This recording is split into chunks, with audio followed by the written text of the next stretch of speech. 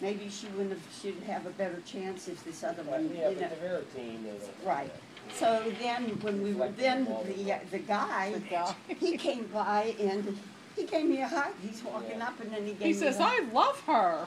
He gave me a hug. He's lovable. So I thought, well, I had his name onto it too. She's you know. walking out, and they're all standing there, Yeah, the pilot, the co-pilot, yeah. waiting for their hugs. I know, Graham that's Papple's so sweet. And you You know probably what? made their day. That's did, right. If you see someone without a smile, give them yours. Yeah. And you did. You But- gave them theirs, and you made them And smile. And it's funny because That then when we were going out of the plane, I guess, well, that one lady was there, she's cleaning up already, you know, wiping Yeah. the table or the chairs and all that.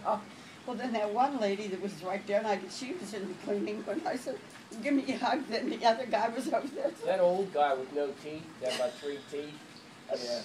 Mexican or Then he something. was a Mexican, yeah. So Then He's a lot of probably them saying, down here. Hermosa, Yeah. He did say something that's Her- bad. Hermosa, Hermosa is beautiful, beautiful woman. Oh. Oh, I don't know what he Hermo- said. Hermoso is a handsome man, Hermosa. I don't know Oh. what,